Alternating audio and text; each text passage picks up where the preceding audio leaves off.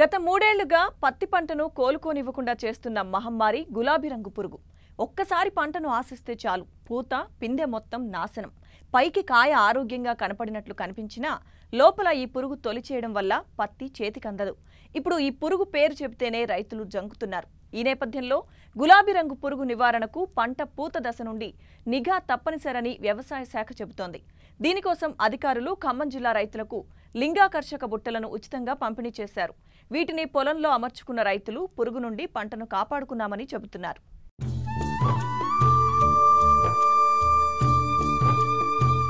తెల్ల బంగారంగా పిలువబడే పత్తి మన దేశంలో అన్ని రాష్ట్రాల్లో పండిస్తారు. ప్రముఖ వాణిజ్య పంట కావడంతో ఇటు తెలుగు రాష్ట్రాల్లో అధిక విస్తీర్ణంలో రైతులు సాగు చేస్తున్నారు.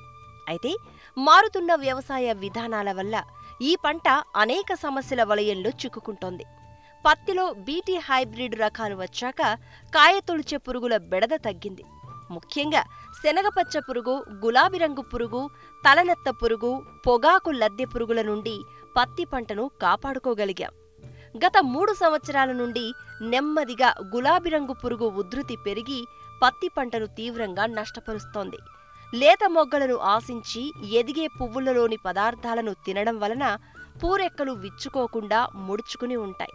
వీటినే గుడ్డిపూలు అంటారు.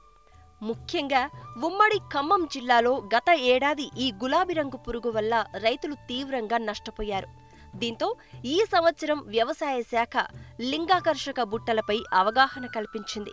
ఇందుకు అనుగుణంగానే వంద శాతం సబ్సిడీపై రైతులకు ఉచితంగా అందించింది.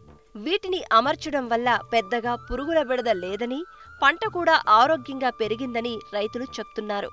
ఇది గులాబీ రంగు పురుగు ఉధృతి వల్ల ఇట్లా జరిగింది. దీన్ని మేము కంట్రోల్ చేయడం కోసం పోయిన సంవత్సరం అది ఎప్పుడైతే డ్యామేజ్ కనబడిందో డ్యామేజ్ తర్వాత మేము చాలా సస్యరక్షణ కోసం చాలా మందులు వాడాం. దానివల్ల ఖర్చు పెరిగింది తప్ప ఏ విధమైన ప్రయోజనం తక్కువగా జరిగింది.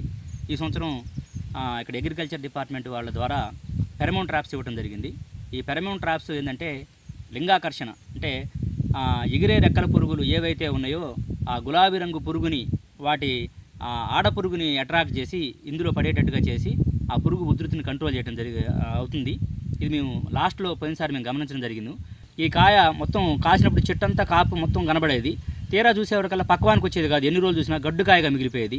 తీరా ఏంటంటే అది గులాబీ రంగు పురుగు అని చెప్పి మాకు తర్వాత అర్థమైంది.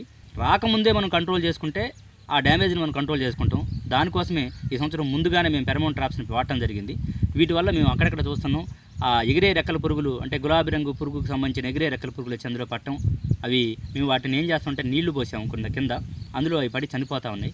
ఈ విధంగా పర్యావరణాన్ని కాపాడడం అవుతాం పురుగు మందులను తక్కువగా వాడడం అవుతాం నాలుగు ఎకరాల పత్తి చేను వేసాను కానీ గత రెండు మూడు సంవత్సరాల మంచి పత్తి చేలో ప్రతి సంవత్సరం కూడా పురుగు పత్తి తీసేటప్పుడు కూడా గులాబీ రంగు పురుగు పుచ్చు వచ్చిపోయింది.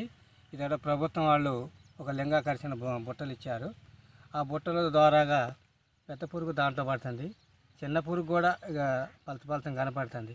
ఈ రకంగా కొంచెం రోగాలు కూడా కొంచెం అదుపులో ఉంటాయి. లింగాకర్షక బుట్టల్లో మగ రెక్కల పురుగులు పడి చనిపోవడం వల్ల పిల్ల పురుగులు అభివృద్ధి తగ్గి పురుగు ఉధృతి పెరగదు. దీనివల్ల పెట్టుబడులు తగ్గడమే కాకుండా నాణ్యమైన అధిక దిగుబడులు పెరిగే అవకాశం ఉంది. పత్తి మొక్కజొన్న సాగు చేసే రైతులు స్థానికంగా ఉన్న వ్యవసాయ అధికారిని సంప్రదించి లింగాకర్షక బుట్టలను పొలాల్లో అమర్చుకోవాలి.